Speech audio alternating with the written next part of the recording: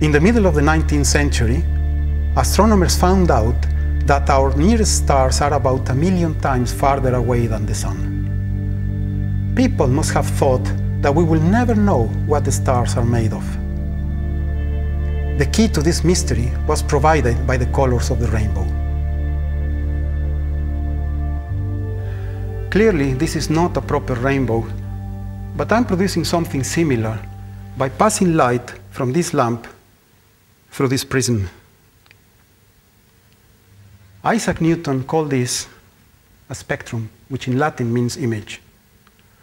Newton realized that white light is made out of a mixture of colors. The light of this particular lamp comes from a hot piece of wire glowing inside a bulb like this one.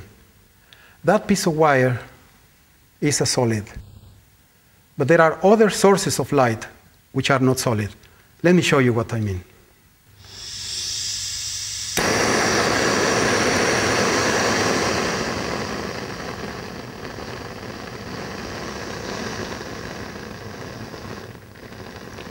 This light is produced by burning gas.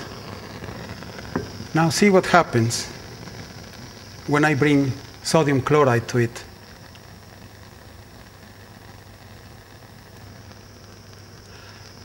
And now rubidium chloride.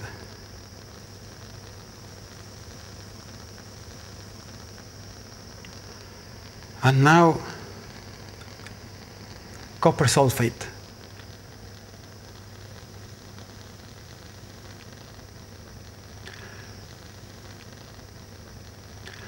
The flames are beautiful, but we can look at these colors in a different way by using this device, which works a little bit like a prism. It's a very simple spectroscope. Let's have another look at the light from a solid wire, similar to the one we saw before. We can see that, like the prism, we see all the colors, a continuum spectrum. Now, let's have another look at the flames.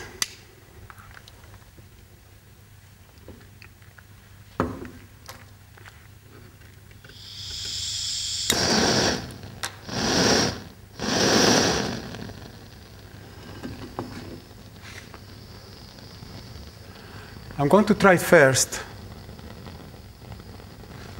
sodium chloride. and I can see a yellow line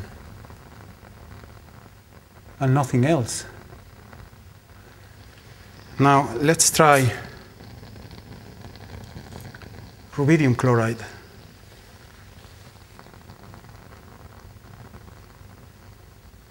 And I can see a yellow line and a lot of red lines on the right. Now,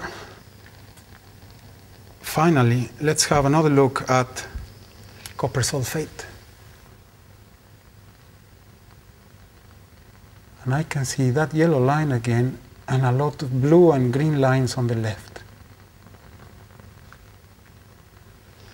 Now let's have a look at another kind of lamp.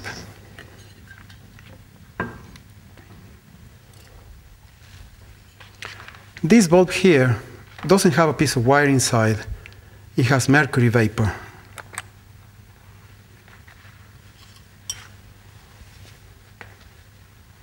I can see a couple of yellow lines, and then on the left a green line, and farther on the left a yellow line.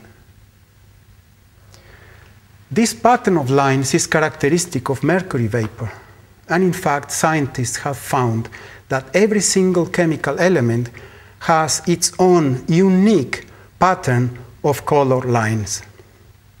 You can see this more clearly in these images taken with high quality spectroscopes.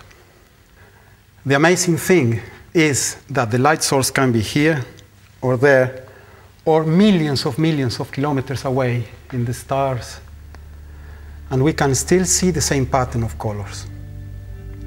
So even though they are so far away, with this very simple technique, we can tell what the stars are made of.